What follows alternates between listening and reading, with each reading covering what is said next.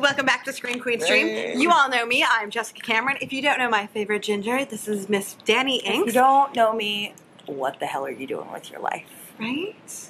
Now, also, we have joining us the first man to ever grace the Scream Queen Stream hot tub horror It's movie actually my reviews. second time.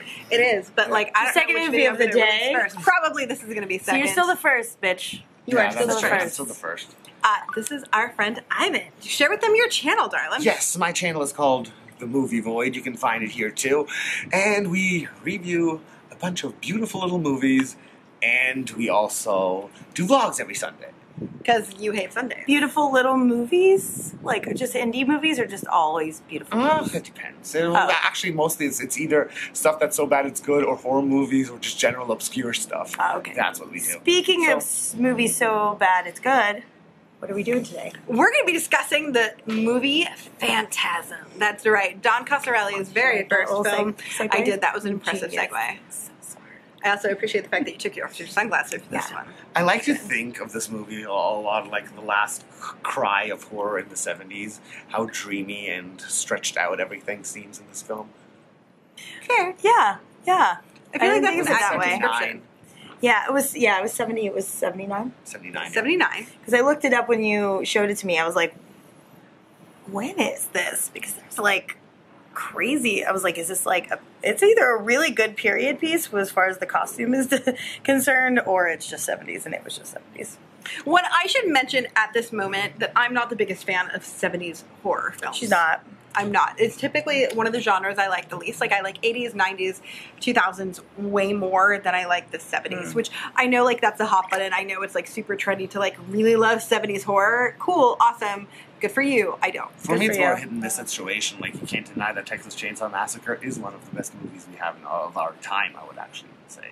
I Like feel the like people can um, argue that. I feel like People can argue anything. Yeah. So, like. No, I'm not saying it's not good. I'm just saying people can argue anything. Yeah, that's true. But, like, for me, it is. Don't say people can't argue because people will argue just because you said they can't argue. So that being said, the synopsis according to Wikipedia, it says it's a 1979 American science fiction horror film directed, written, and photographed and edited by Gon- Don Coscarelli. The first film in the Phantasm franchise, it introduces a tall man played by Angus Scrimm, who's a supernatural, malevolent undertaker who turns the dead of Earth into dwarf zombies to be sent to his planet and used as slaves. He's opposed by a young boy, Mike, played in this movie by Michael Baldwin, who tries to convince his older brother, Jody, played by Bill Thornbury, and family friend, Reggie, played by Ba- Reggie Bannister, of a threat. So, dwarf zombies, that's what you Dwarf call zombies. them. Okay, so Dwarf I I never knew what to call them when I was watching the movie. So just just you reading that makes me think that it's a comedy. Yeah, like, like that, it really sounds like one of those. It sounds like a comedy, like a like, a Troll parody. okay. It sounds Yeah, like Troll a 2 when you parody read it like horror film. Yeah. So that being said, I like to kick these off by saying what worked. When you can't say something nice, don't say nothing at all. My friend Dani Yanks.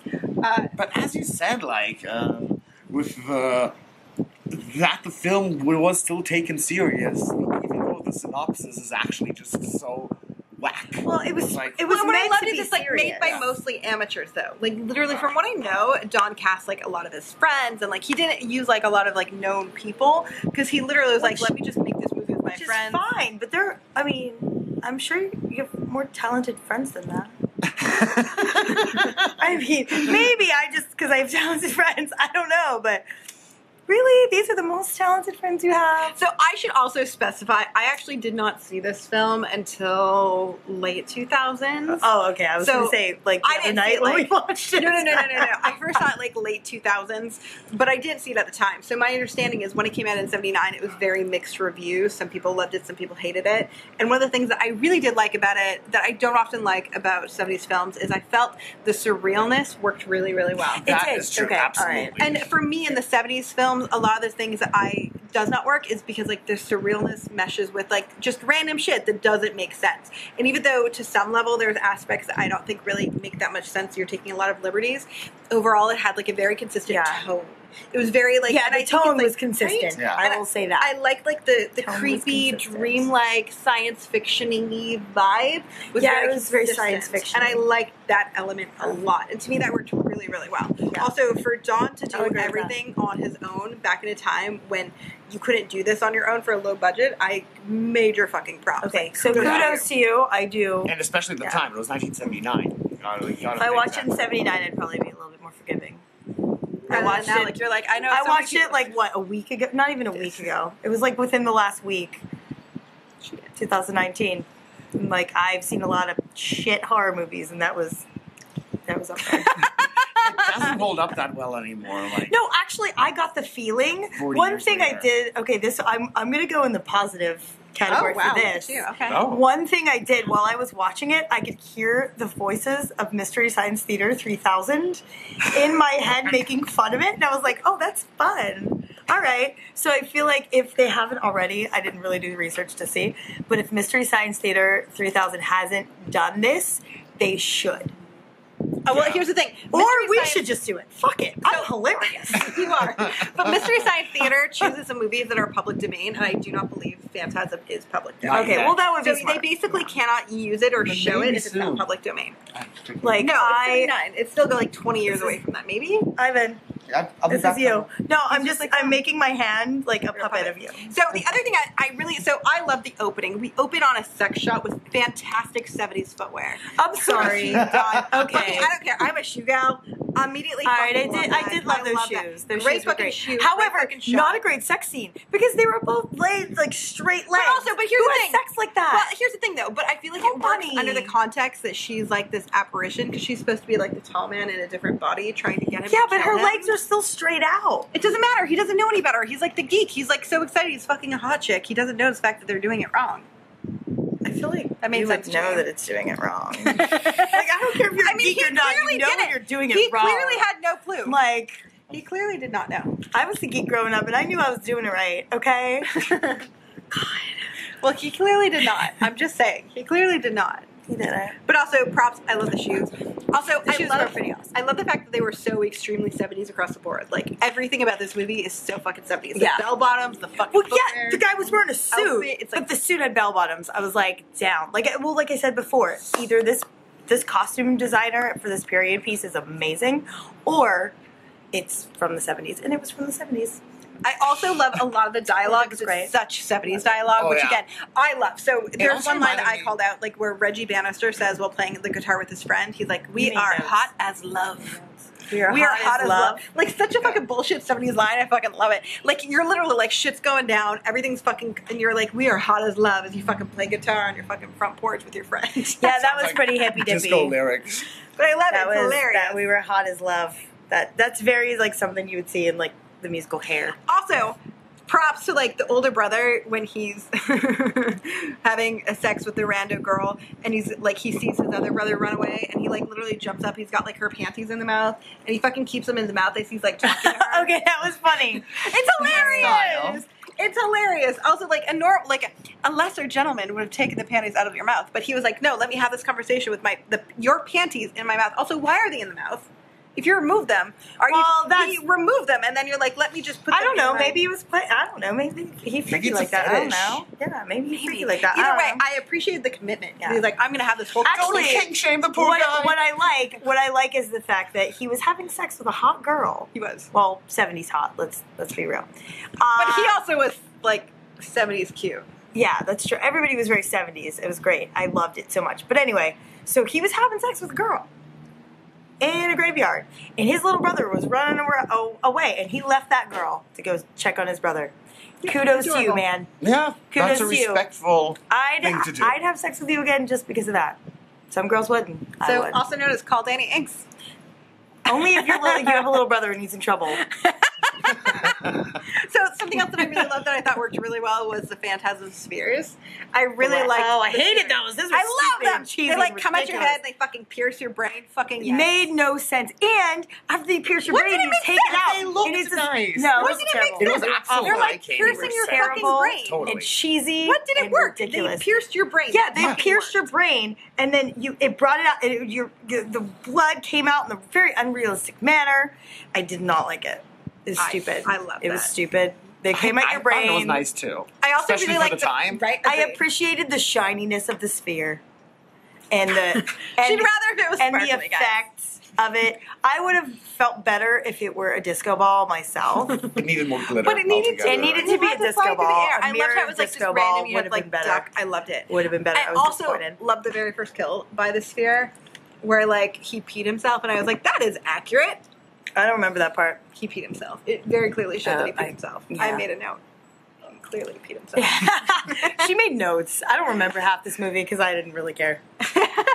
okay, so the other thing that I loved is the picture the kid found of the tall man in which he turned into a close up of him. It was so well done. Oh yeah, time. yeah. Like it was well that done when. I first saw it in the 2000s. I was like, "That is a cool fucking effect." I can only Mhm. imagine in '79 it would have blown people's fucking Yeah, you can't just you can't just tap me, it, and make it bigger, or like make it bigger. Did you ever do that to like an actual photo? You're looking at a photo and you're like to zoom in. You do it like you do put on your phone. Yeah. I've done that, I've done that too. and I'm like, oh, oh wait, that's a real You're photo. creepy, Dane. So the other scene, there was a scene where Jody, the little boy, he lit a match, and the scene worked really well with limited resources. I love that. I liked a lot of the effects. I thought the effects overall worked really well for the time. Even in the 2000s, like I, I think like watching it now, you kind of have to hold it to like the nostalgia factor. Okay. But I think again, even now, they still hold up because they're all practically done. Like nothing is CGI because in '79 it didn't even exist. Something had to have been CGI, right? I mean, well, I mean, there was a little They CGI a back then. No, no, but not for a three hundred thousand Oh, that's feature. that's true. Yeah, so I love that. I was gonna say really Star? Wars like had like was the original Star Wars seventy seven because I'm a nerd and I know this, and they had some effects, But- oh, Not good ones, but some. Correct. So as far as I know, this doesn't have any. for Correct me. Comment down below. I'm Generally wrong. loved the way it was shot. Like I thought I thought the the time. I thought the It sphere is was like so a, maybe was atmospheric just- and, and so dreamy, and the fact that it is such a spaced out plot that they could have like developed that in a serious movie that has this, this constantly consistent tone that did make was sense. actually a good job. that that made it made be- better sense than if it weren't all dreamy and. But I, it also confused me. I'm like, is he dreaming the whole time? Is he not Yeah. dreaming the whole time? That's what that's the good fuck? argument. But I still think it works either way. It does. It made it work better. Is it? Oh, this this wasn't what didn't work. I'm no, that's what what did work. because I went off on a lot of That's stuff fine. didn't work. what didn't what didn't work for you, Dan? Everything. it didn't. It was, it was boring. It made me sad and bored. And by the end, I was drunk because all I had to do was drink. work. One of the things that didn't really work for me was the blood being yellow. It just felt strange to me. I get that they were trying to show that they weren't of this earth and this planet. They I could have picked a better that, color. but I just yeah, it's something seemed- about it I felt feel like weird. they- it felt cheap. it Well, felt I, weird. I felt like they, that's the colors that they had available, and they're like, "Eh, fuck it, it's not red. It's fine." Yeah. So, and then when the finger turned into a fly, and Reggie Bannister's line delivery in that scene. oh my God, me. yeah. It just felt very like I, I felt Reggie was going for the joke. Which took me out of that moment because I Yeah. felt like everything else was like they were playing it to be like if we were in this in real life, and then Reggie played it for a joke, like it was a reality show or something. So that didn't work for me. Yeah, a lot of Reggie stuff didn't really work for me. Yeah, he was an interesting choice of casting though, because like again, lo- I don't yeah. feel like he's a good actor necessarily in the No. film or in the franchise. Quite He- I- frankly, I feel like but like I appreciate that he looked like a normal person. Yeah. I did really like that because he looks Yeah, I- like a I normal. liked he's his clearly not an actor. His he's look like he's like young twenties but balding like he's fifty. but that was a look in the seventies. I don't think it A was lot young of it wasn't a looked good like one. He could have been young twenties. He Well, was like probably mid- like Like, just- thirty. just think- I I pegged him at like between Either way, and his like Think Flash hairline is like twenty to thirty years. The villain older in Flash he. Gordon. He, he- that's the exact same style of don't. look. I don't know Flash Gordon. I'm sorry, You that's love that. beyond my generation. yeah, that that was a little bit before our time. Okay, so when the other I'm just as brother old you shoots, guys. When well, the yeah, oth- but I mean, but you Are go you back. though? When the older brother shoots the being from the other dimension off his head, I don't believe on his best day that he could make that shot. At all. Well, Again, but, I thought but, we were taking a lot of movie liberties. But movie Yeah. Liberty is Yeah, our but- movie. Well, it was also a very dreamy one, so it was like, ooh, is this real? Is it not real? But Yeah. I think we could do that. okay, the other thing. So there's a that couple things also like things that anything else that just didn't work for you guys. Those are what like didn't work for me. overall. Everything. Hated that movie. No, it was the yellow blood. I'm sorry, I didn't even hate that movie. I was just bored. I was Some bored out of my scenes fucking felt mind. a little too long. That's Didn't all like I have it. to say. There's But also, some, I feel like that's this so movie- 70s. this, To me, yeah, this movie like, has 70s. pacing issues, One of the especially from reasons I bored. today's perspective. Correct. Bored. I didn't notice the pacing issues Yeah, I when I bored with it first saw the Bored. film in the late 2000s compared to when I rewatched it. But also, like when I rewatched it, I do think it's a really fun movie to have on the background because, like, it doesn't really have to make a lot of sense. You can literally have just like cool scenes that like work for people that are like mingling and talking and drinking and like coming back and be like, oh yeah, This movie like, was made for to be on the background at a party, to where as long as you don't pay attention to it, it's fine.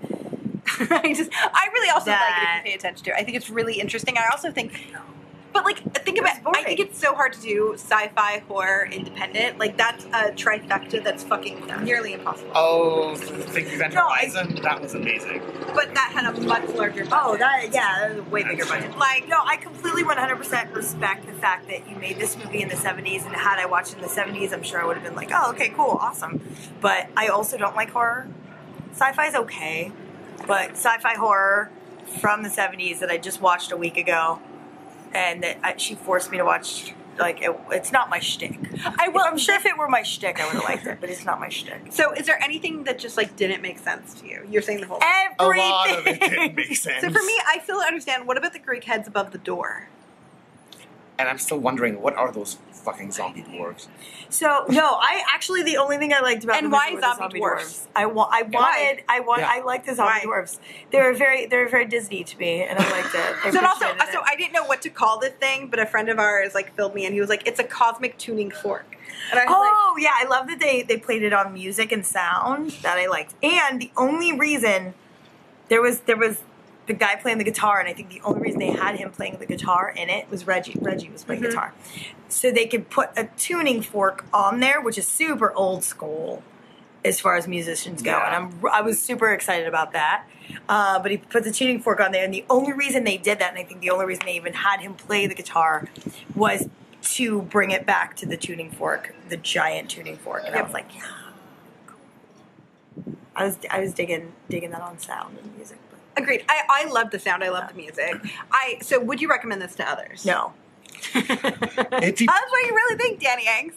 It's, actually no. Like assholes like you guys, I would totally be like, oh my god, this movie. people that love but, horror or but I sci-fi. feel like most of the people who I would I would recommend this to have already seen this. I feel like I'm the last. But I think it's true. still, but I think it's still worth rewatching in 2019. We're just celebrating one of the anniversaries, hold by up the way. But I'm Well- sorry, if you've seen it But I don't once, care. you either like like, it or such- you don't. it's such a- watch it or not. I think this is, in my opinion, it's one of the best independent horror films done of the 70s period.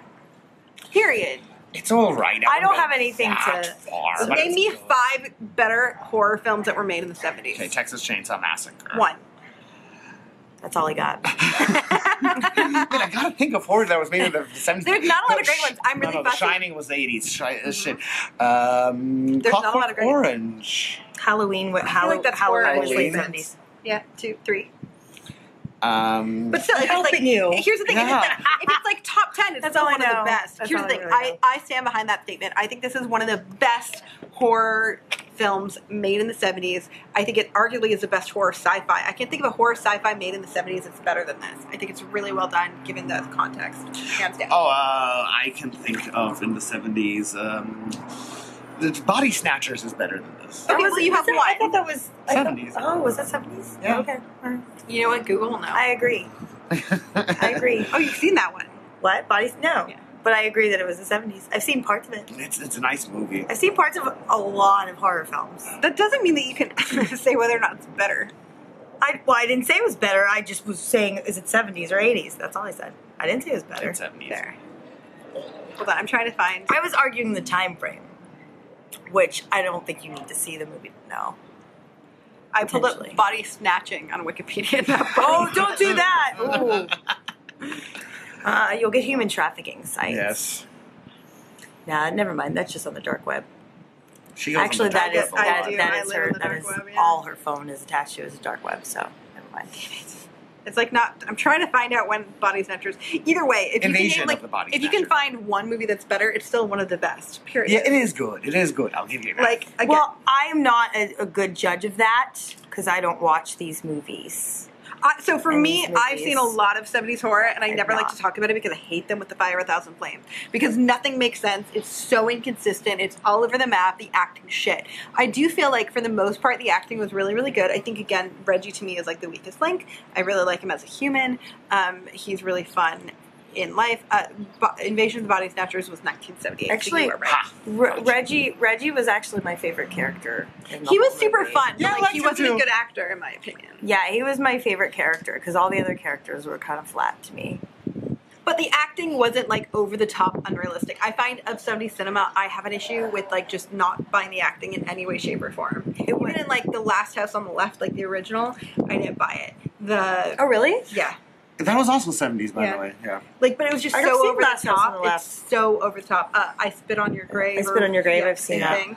Like all like so many of these like 70s classic films, I don't love the originals I'll see it. because like the acting to me is so bad. I'll see, I like and this that. I, I like think the is like one that- of the best across the board. Goodness. Have you I would- watched it recently? Not recently, not in the No. last I might five want you to years.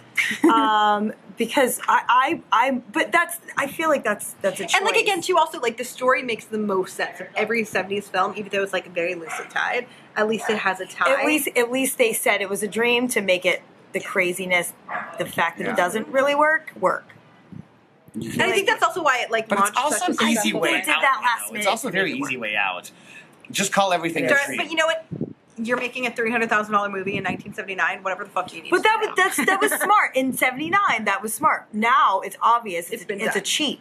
But Yeah. back then that Back wasn't. then it I mean, wasn't. look at what was that? What was that show where they killed Jr. and then they made it all Dallas. a dream? Da- was it Dallas? Was One Dallas. of It was those old. Dallas. Dallas. Like I didn't. My mom watched it. You know what I mean? But like everything was a dream. Ooh, everybody was pissed at that ending. They were so pissed. the ending you know, of Carrie. Just original like, just Carrie. like Lost. Yeah, agreed. Spoiler alert! I've never seen Lost. I didn't but like the- I know. the first Carrie I, I know the I finale. felt like the acting. I like the remake more. The first character. Oh, I like the first. A lot of people would hate I it. actually I like the first bad. character. I like the remake more. Carrie. Oh, I no, I no. Chloe I like Grace the original Moretz is a better. better Carrie than No, I like the original. and But what I I'm saying, I'll get lynched for that. no. Well, Go you to his channel and complain to him. Go to his channel and be like, "You suck." Uh, I forgot what I was saying. Sorry. Do we have any final thoughts? Don't go see it. You know, you're not going to see it. You're Uh, buying don't see it. Watch it. Don't buy into into stuff Jessica like Cameron's that. If you like Very- classic horror, if you like sci-fi horror, or if you like 70s horror, it's must watch. This is a I agree very with that. specific movie. But if you're like Dani and like musicals and Hallmark and Lifetime movies, don't watch this. What's so also notice Lifetime none of our friends. Does it matter. They're all the fucking same. They star Dean Cain, a fucking golden retriever. Uh, no. I, Name I me one like the that doesn't have Dean Cain or a golden retriever, Dani. I can't think of any right now, but I will get back to you. I'm gonna send her a whole big list. She appreciates. It. On that this. note, guys, don't forget the like button down below and also subscribe. I produce new videos every week, 10 billion bonus points if you join the Patreon. And I'm going to link these two bitches down below. Follow her on social media. And Subscribe to visit him my on channel, YouTube. The Movie Void. He makes these really cool vlogs with really awesome editing that I couldn't do because I'm not German. I'm not German either. Really? I'm Canadian. But you lived in German. I did. So you're like German adjacent. German adjacent. Bye! Bye. oh my god.